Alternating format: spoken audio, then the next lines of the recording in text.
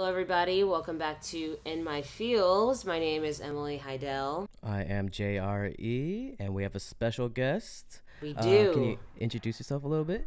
Hey, what's up, everybody? My name is Kevin Maher. I'm a choreographer and creative director based out of Los Angeles, born and raised here in California, Hey, and I get I get to do what I love for a living. hey, That's amazing. Yeah. that's the best thing in the world, to be honest. Yes. Yes. And you've been doing it extremely successfully. I'm just going to name a couple of the perform or the acts go. that you've worked with. Um, so starting with Britney Spears, Nicki Minaj, Becky G, J Lo, Justin Bieber, Madonna, and a lot of the people who listen to this podcast love K-pop. So um, what's relevant to them is NCT, Max or Changmin from TVXQ, uh, Super M, Girls' Generation. It seems like you've worked with a lot of like SM artists, right? Yeah, a lot of SM artists. Okay. Hey, that's what's up, though. Yeah. Have you ever gotten a chance to visit SM like out in Seoul or is it more of just like you're sending them the choreo beforehand?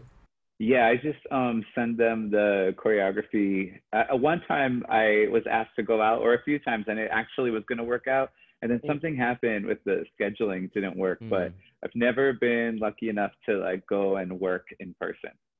Ah. But I have worked with artists that have flown to LA. Mm, okay. Ah, okay. Okay. Yeah.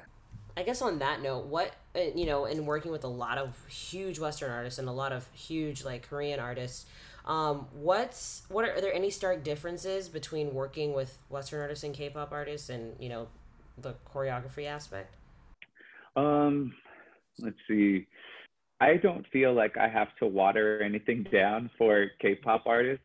I feel Yeah. like they like it's part of the discipline to get the dance game on point and to do like the newest and what's next and difficult things or whatever the case is. But the trend. with um yeah but like with a lot of artists out here um you know you want to make sure they don't look like they're trying too hard but also make them look cool but also there's a lot of different factors or maybe they don't really want to dance but they want to be a part of the dance. Mm. and so you have to find your ways to uh, you know um, like if you're just wearing a white t-shirt and jeans you can still wear it like a supermodel.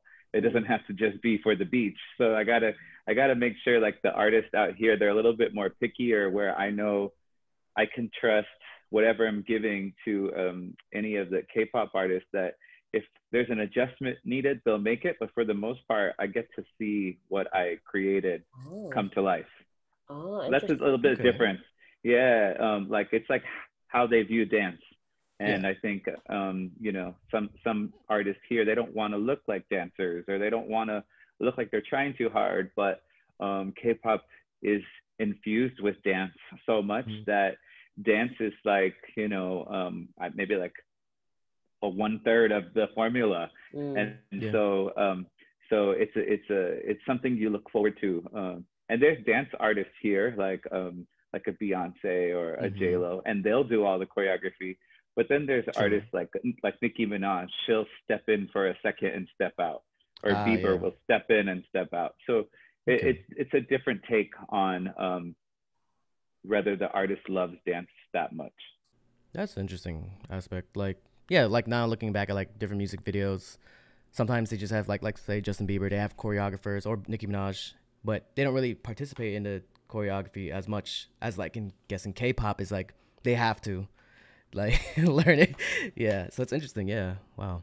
So Beyonce, J Lo, they're dancing artists compared Hmm. to, like you said, J- Bieber. So you're pretty much choreo- or choreographing for the backup dancers for the most part.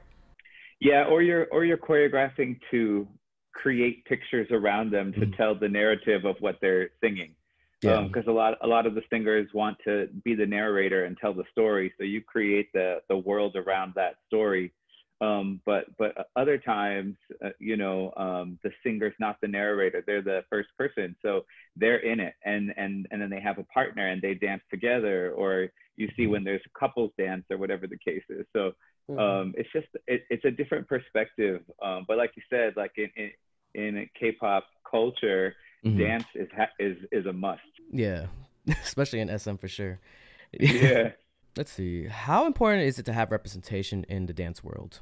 it it seems more important when you start doing jobs that are really big and like a SAG or union jobs because mm-hmm. then there's rules and there's benefits and there's um, like extra perks and then there's um, you know uh, kind of uh, blurred contracts that maybe you as a dancer wouldn't really know unless you had someone helping you mm-hmm. so um, you know you don't need representation to get started or to build a reputation or to create a community but you do need rep- representation as you get further along and you're on set and someone hands you a contract and you yeah. feel pressure to sign it and and you want to be able to say sure. well can you send that to my agent to look at because mm. i don't know what that means mm. and then and then maybe you find out good thing you didn't sign that or um, if you're doing like a movie or something so as you get further in your career it's really helpful to have somebody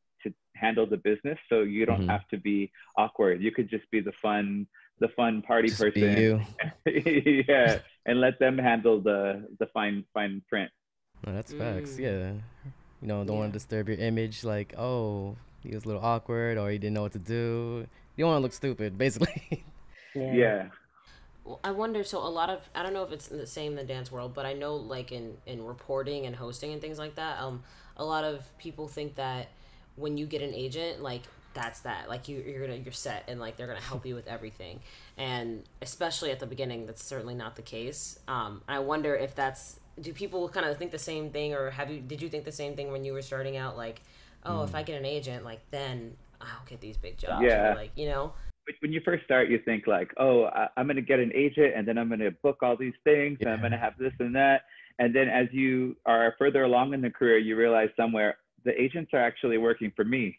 Oh. So I need to make sure that they're communicating the way that I see appropriate. Like I don't mm-hmm. want my agent telling the job that I'm being difficult. I want to and so you start to learn along the way like wait, they're actually working for you. And then you learn maybe I should switch agencies because this one is mm, I don't know, a different vibe or maybe yeah. I should go here. But yeah, at first when you start you think that's all you need to, to, to get your foot in. And it's definitely a stepping stone. But when you soon learn, like agencies have hundreds of people in there and you know 40 of them look like you and offer the same thing and so mm-hmm. that, then you start to go oh they really don't have anything to do you have to do all the work yourself even with an agent and then they kind of help navigate your your uh, timeline or your paperwork or whatever the case is but they're not actually getting you the jobs you are. Mm, I see. Yeah. That's true. Yeah, that's so interesting. Like there, and especially with the ones that have like forty different people on their roster, they're like, if there's one job that comes up, then all forty are being like uh, sent in for or like being uh, submitted for it, and mm-hmm. it's like, well, yeah. How are you helping me? Like, you know, I guess it's like, well, one of y'all are gonna, gonna be picked, I guess. you started dancing professionally at 19 years old correct? Yeah. Okay. What was your goal at 19 and has it changed? And if so, what is your goal now? I mean, um, honestly, when I first started at 19, like one of the first jobs I got was teaching like seven year olds. Mm. And I, I was terrified of all these little kids in the room, but I kept getting great responses from the parents and the, the, uh, the okay. dance studio. And so I was like, um, terrified to go into this room of seven year olds every week, but I kept kept going back because I thought like as long as I'm making a living off of dance, I'm doing more than like a lot of my family's done, which is jobs they're not passionate about. Mm. So so I kind of always remind myself along the way, like it doesn't matter if you're teaching seven year olds or if you're touring the world with an yeah. artist or if you're doing a big movie or something, as long as you're making a living off what you love, you're good. And I think that's kind of kept me uh, grounded and and grateful and then and then that way like i'm i'm consistent and then any job that comes along that's just a bonus but then finding that like mm-hmm. consistent so my personal goals haven't changed because i'm just loving what i do and i'm happy hey. but like of course you know having a um like a a different type of artist to work with or mm-hmm. a different like doing the olympics or something that's a goal that would be changed. dope yeah yeah so the, you know different ways to look at it but the but the story of teaching seven year olds that I once hated became like my ground level of, of gratitude. Hmm. hey, I like that. I like that. Yeah. Yeah.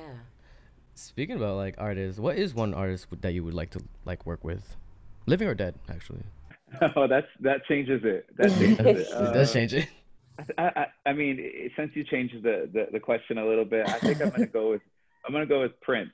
I would love to have like done done something dramatic and crazy Yeah. and funk, funky, and he has all the worlds in In his, his music mind. combined.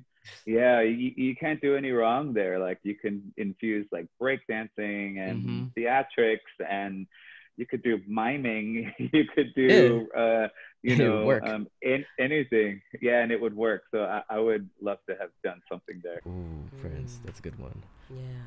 How often, like, for example, I'm thinking of like Prince, somebody who would come in and be like almost collaborating with you, like, oh, like this is what I'm thinking. And um, how often, or what do you prefer between like an artist that's wanting to help, almost like, let's work on the choreography together, compared to an artist that's like, teach me, just teach me. Hmm.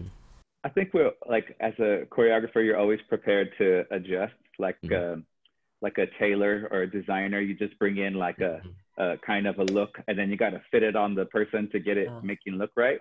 So we're always prepared to adjust. Um, I prefer someone telling me what they like because then I get to see where their perspective comes from. Yeah. Um, and then, but but sometimes people, um, because they're artists, they don't really know how to communicate well. So instead of saying like, "Oh, uh, I'll give that a try," but what they they'll say like, "Uh, that's whack. I don't like it," or they'll say that's weird.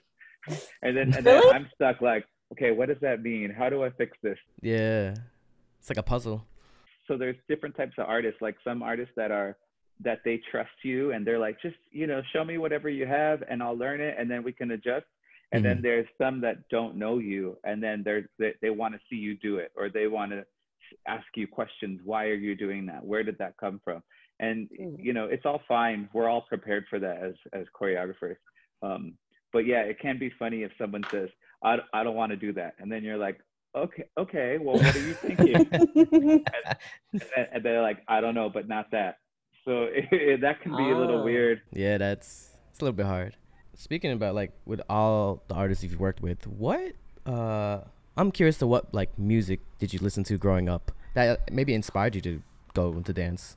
I kind of went through like little phases. I remember growing up and my brother was into Michael, but my sister was into Madonna, Hmm. and my, my mom would listen to some um, Latin music, and my dad would listen to Irish music. And Okay. I remember like hearing all these things, like well, I I don't know what I like for myself, and then um, I started to connect like um, with like uh, De La Soul and Tribe Called Quest, and then Mm. that infused to like alternative because I, I, I grew up in California, so so I would listen to like Smashing Pumpkins and like more um, alternative things growing up that way, and and, Mm. and then it started to fuse together like at 19 uh, when I moved to New York, all the the worlds kind of collected, like the skaters and the b boys and uh, the the hip hop heads, and the and it Mm. all it was in New York at the same time, so it, it all clicked for me.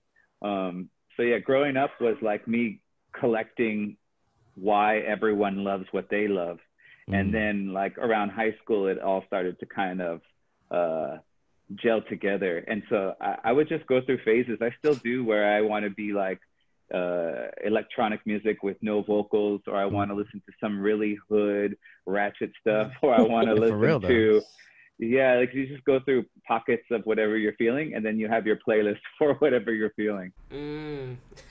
Ratchet versus uh, EDM. I love it. Love that.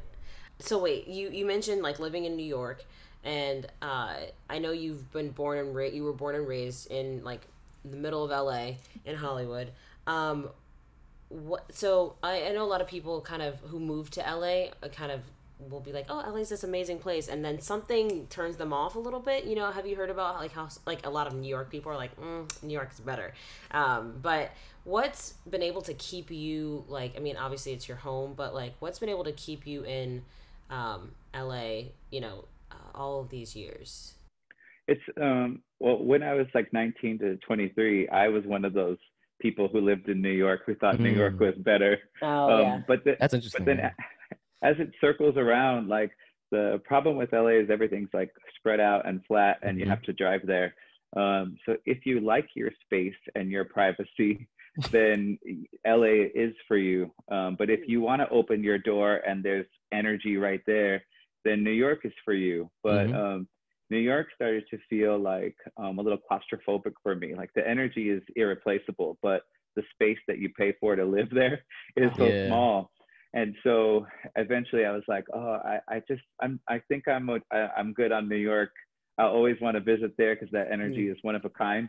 But being out in LA, um, we can drive to the beach and do a run and you know be back at home eh, before noon and then have a full day and then uh, you know have space like i can go in my backyard and like meditate or sit mm. there or do yoga or go for sure. a night swim and so if you know what you're doing in la you have access to everything but a lot of my friends will come from the east coast and they don't know where to go they don't they can't just walk down the block and find something yeah. live. True. You have yeah. you have to drive.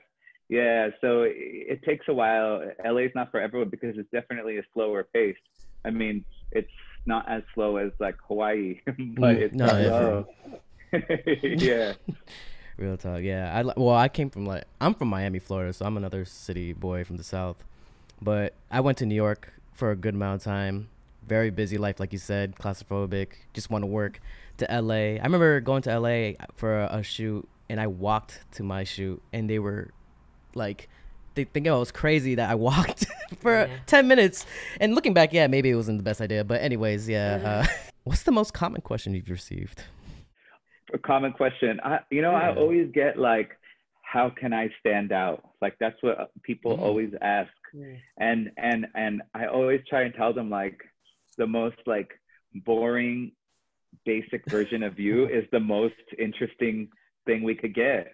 And oh. everyone it gets so lost because they're like, should I dye my hair? Should I get yeah. tattoos on my face? Should I wear mm. shiny clothes? And LA sends the wrong message um, it, of like how to stand out, and you got to yeah, stand out, and everybody's trying to make it, but um, it's really not about that. It's it's like um, giving people who you are right away is a mm-hmm. rarity because usually yeah. everyone gives you their their preferred version.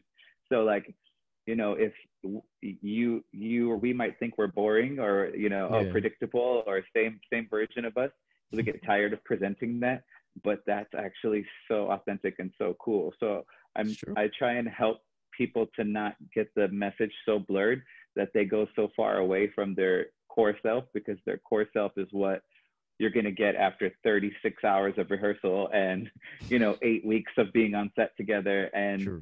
if you're touring the world for three years you know so so it's important to kind of uh, present that version of you that's probably what you think is boring and that is so special um, sure. so that happens a lot that question happens all the time especially with like young aspiring mm-hmm. dancers and they don't think that they're uh, unique enough and mm. so I just get sad when I hear that question because mm. everyone is so fly if they can break it break it out at any given uh, notice, you know. Yeah, mm. It's very true.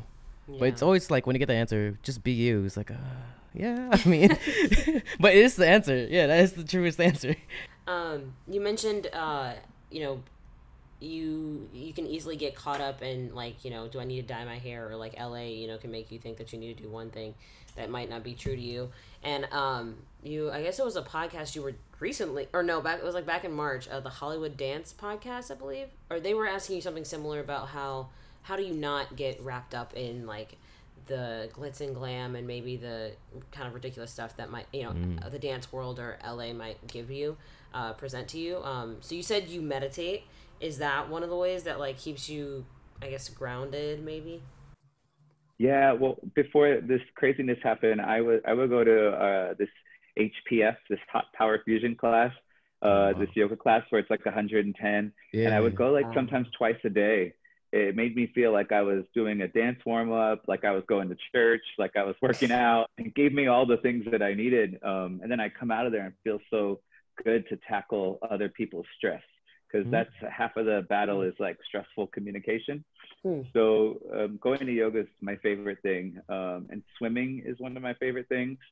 I just got some underwater headphones recently, so I'll just uh, yeah swim with music and um, but I think like finding other things that are opposite of what you're pursuing as your passion slash profession is important because the blurred lines of uh, professional and passion are mm-hmm. are really hard to see sometimes. Mm. That's why we get like rejected and we're so sad and you know we, we have to keep trying. So if you can find something else, maybe it's like cycling or maybe it's uh, something for the greater good, not drinking or you know mm-hmm. tanning, like something like that's good for you, like meditating, yoga, roller skating, uh, you know, throwing throwing axes. Yes. Yeah, I haven't tried that. I need to try that active and a community. If you can find another community besides the one that you're already driven with, it'll be refreshing. It'll yeah. it'll be really yeah, super refreshing. A lot of people again, like I keep going back to this LA thing. A lot of people's passion is also what their job is, and yeah, that makes sense. Like you know, finding something outside of it would make sense to. It, it keeps your mind off of it. You have something else to fall back on if something doesn't isn't going right. Since this podcast is called In My Feels, we like to get a little bit in our feelings. Uh, so I've asked this uh, a couple times, but when was the last time you cried watching a movie or listened to a song? It, it was yesterday, and I finished Ooh. the new Netflix show called Away, and Ooh. I cried, I think, every episode, but the oh last one, like, I was excited and I was sad yeah. tears and happy tears and ima- my imagination was moving and um i it was just I, I i remember screaming being like i can't take it. It was too too much. Um but yeah that that show was like, right. the best thing i've seen in a while. Netflix away. It's like a space drama but it's mm. just so amazing. I'm gonna have to check that out. That was yesterday Whoa, wow. yesterday. I did not expect yesterday. I'm not gonna lie. Yeah, most people were like, oh, about a month ago, or like not the day before. But that's yeah, good. One person said like, uh, I don't think I've ever cried. I'm like, that's that's bullshit. Liar. Liars, liars. Okay, yesterday. Okay. Has there been a song that got you emotional? Uh, yeah, mu- music does that to me all the time. I'm trying to think of like what snaps me. I'm, I mean, like, um, trying to think what the last song was. I have like different playlists. Um, mm. One one's called uh, Sunset, and it's like really somber music that I could. I imagine like uh, it's like happening at anywhere on where the sun's setting, so you feel like all the the beauty and stuff. Yeah. So sometimes like not necessarily sad songs, but songs that have so much magic and beauty in them, and then at the right moment, infused with the right environment, maybe also um, a glass of wine, and you just feel like so grateful to be alive. And that's mm. what happens to me more than sad songs making me feel sad things. It's more I'll about beauty and beautiful songs at the right time with friends, or you know, even if it's like a Kaytranada track, but you're hearing it with friends and you're like, mm. we're still getting through this pandemic and we're having a, a glass of wine, and I'm just so grateful. Like that, that happens true. a lot. Yeah. True, true, true. Love that vibe. Yeah. Um, I always love this question because people have like Dre always asks it and it gives and people have different um, I guess experiences, um, especially with songs. In terms of uh, just life in general, um, which I guess we've been asking about, what if you had if you could have one do over slash mulligan, what would it be? Mm. Um, I, I I struggle with this one, but um, one specific incident, I don't want to change anything that's like happened that mm got me to where I've been. Sure. But there was one time like a couple of years ago on a job where I lost my cool and I've, I've never lost my cool before. Oh. And the guy was saying like, uh, this number looks like shit and this and that. And I remember being like, you're an asshole and you're rude and you shouldn't be. And Just then, and off. then I immediately, yeah, but like till this day, I'm like, oh, why did I do mm. that? Like, I, I, I wish I, it would have been cooler if I said, oh, yep, that's what I was going for. What, thank you so mm. much, you know? And like, and I, instead I, I was just so tired. And I remember like losing my cool and I've never done where I like kind of go at it with somebody, mm. which I guess that happens a lot, but not with me. I'm pretty patient and calm and, and, and demeanored. And uh, I remember losing my cool and I always think back like, okay, I'm never gonna let that happen to me again because mm. that was not professional and not my best look, and um, it was unnecessary. So that's one thing I wish I could do over was take back that that moment mm. and then mm. walk out walk out of there cooler instead of true chaotic chaotic. Mm. Yeah. What led you to that moment? Do you remember what maybe there if there was there maybe just being tired? Yeah. Yeah, I, I remember because this guy was pretty cranky and pretty uh, mm. rude, but he was one of the owners of the business. And I remember him going around bashing the lighting people and bashing the creative mm. people and bashing the uh, all the people. And and like he didn't realize that he was the poison because yeah. he's going around doing that. And then I was like, there's no way he's gonna come to me. But then when he came to me, and and this is like this is like a month of work in yeah. and we're working for 18 hour days and we're all and I, I was like oh I'm, I'm not going to crack there's no way and then something happened and i lost my cool and i uh yeah i just I remember mean, like exhaustion and um seeing that person beat up the other areas yeah, that were that up. were working hard yeah it, it didn't sit sit right with me uh, i mean we're all human i mean definitely gonna. Sometimes we're gonna just explode for sure. I mean, I've been there, but obviously, you would rather be take it like the cool route. Like, okay, yeah. I'm sure the other people who were around you, like the lighting and everybody, was like, "Thank God." They probably felt the same something. way. yeah, to be honest. yeah. I would have been that person, like, "Oh, thank God someone spoke up," because they're probably all feeling the same way. So maybe if you think of it like that, maybe.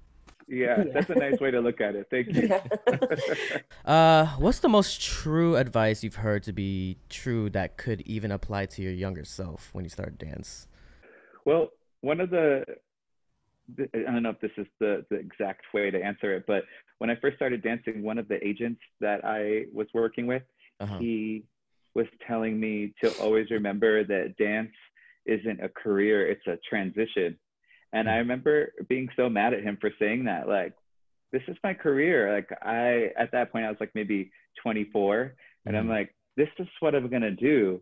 And then later on, you start to think, oh, uh, what, where am I going to go from there? Am I going to teach? Am I going to choreograph? Am I going to act? Mm-hmm. Am I going to direct? Am I going to move into behind the scenes? And I now understand what he meant. And I think it's really important for any aspiring dancers to remember that it's not a career it's a it's a transition so mm. you always want to think about that as you're maneuvering through like um, keeping your eyes open keeping your options open and keeping your skill set broad so that way maybe you're on a job and they ask you to do a uh, say a line or something and you're not shy about it or maybe you know what somebody likes your energy and they want to hire you as a an assistant or something so yeah um, I remember when I first heard that I was mad, and then I appreciated it, and now I'm sharing it back.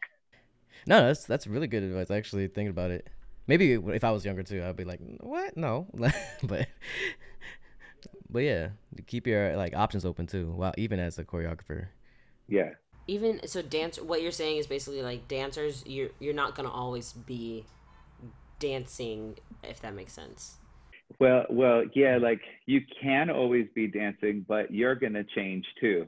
And uh-huh. you're you're you're probably gonna want to grow and you're gonna be presented with a lot of opportunities. Oh, and yeah. so if you if you look at like, you know, in any career, if you say, This is it, this is what I'm doing forever, it could get a little stagnant um, even like really successful actors, they start their uh, you know nonprofit companies mm-hmm. and they they start to go and help people or they start to teach people back. So you start to think, well, yes, this is my career, but I'm going to transition that into so many different things.